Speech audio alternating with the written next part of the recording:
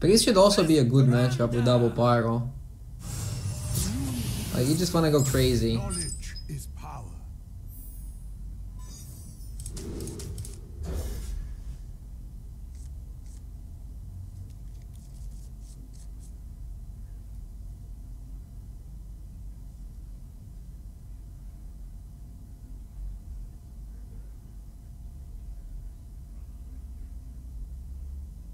Do you think you can beat Rogue and Paladin? Yes, if I have like a good opener. Like, I don't know. I have basically Pyroblast over Corridor Creepers. Pyroblast and another secret. Like, if you just don't Doro your Corridor Creepers, do you think you can beat Rogue and Pala? If the answer is yes, then my answer is also yes. Sometimes I can just cheese my opponent too, which is like extra. But why would, why do you think this deck is worse? Like, yeah, I have some extra greediness, but I still have double Mana Wyrm, double Arcanologist, double Kabal Lackey, double Medivh's Valet, and all the other early game that the deck has.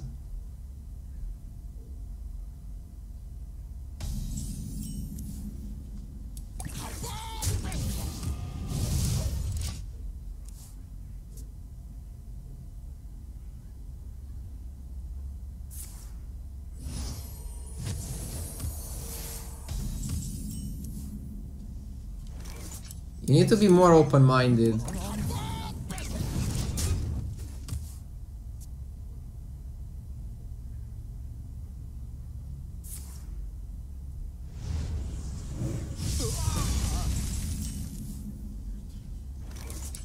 Tonight, a tale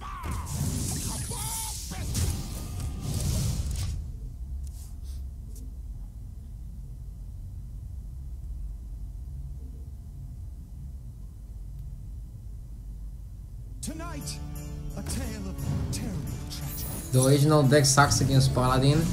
Yeah, then this deck sucks as much as that original deck. I didn't say that it's better than the original deck, I just said it's like... Same. Maybe they both suck.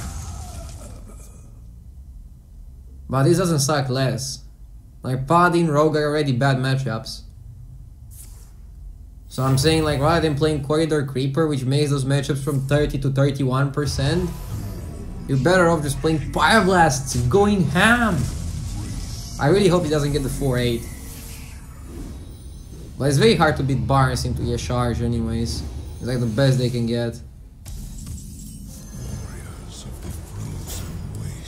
I pull him off the Y'Shaarj.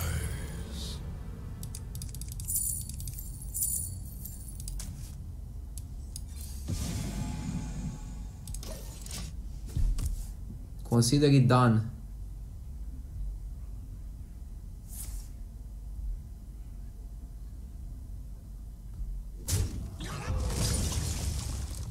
If he gets the 4-8, I have to pull him off that though.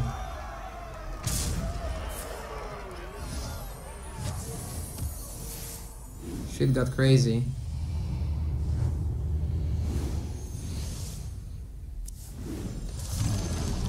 Charge, pulse, charge.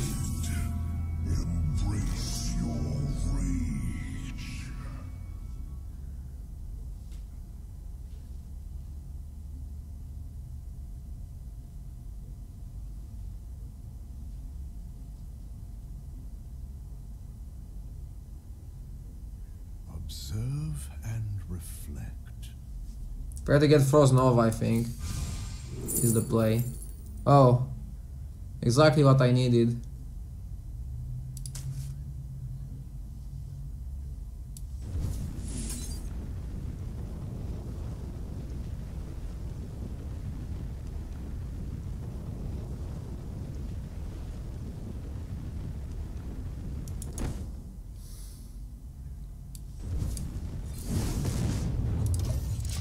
My hand is full. Oh!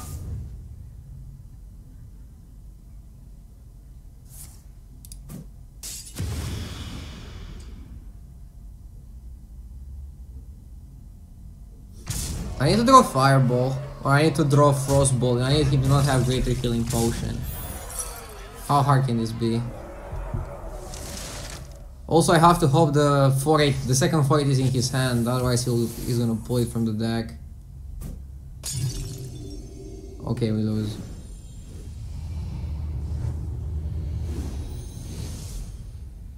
But come on, guys! Like it's it's almost impossible for any deck to beat Barnes into his charge on four. Like if you wouldn't have Barnes in charge on four, I would insta win this.